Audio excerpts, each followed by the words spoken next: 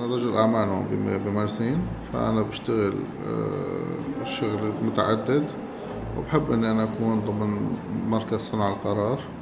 فبالتالي بحب البلد طبعا وبحب اتجاه هذا البلد وبحب إني بحب هذا الحزب كمان بحب إني أدعمه وأكون جنبه يعني. أنا قدمت قدمت إني أنا ارشح للبرلمان بعدين طلع آه، أميد أوزداغ عمل تويت فعمل ضجة إعلامية كبيرة كتير. صراحة ما حدا شجعني على الانسحاب أبدا لكن أنا كان عندي مشكلتين. أول مشكلة إنه السوريين ما كانوا كتير شفت ردة فعل تبعهم إنه نحن لازم يكون في صوت يمثلنا. فحسيت حالي إنه أنا ما لازم يكون أنا بهالخطوة أو حتى حسيت إنه ممكن يكون في ضرر إلهم.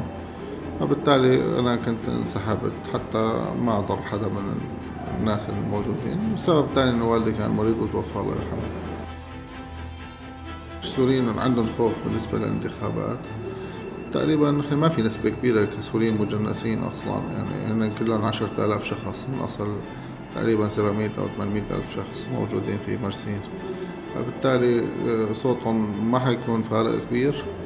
لكن إنه ينزلوا وينتخبوا ضروري وكثير مهم إنه ينزلوا ويعملوا فرق. يعني آه، إحنا ما حنعمل ترجيح لفئة من معينة ولكن صوتنا بيساعد. مثل ما بقولوا بحصل قسمة جرة يعني. النتيجة إسطنبول خسرناها على مدة 12 ألف صوت فقط.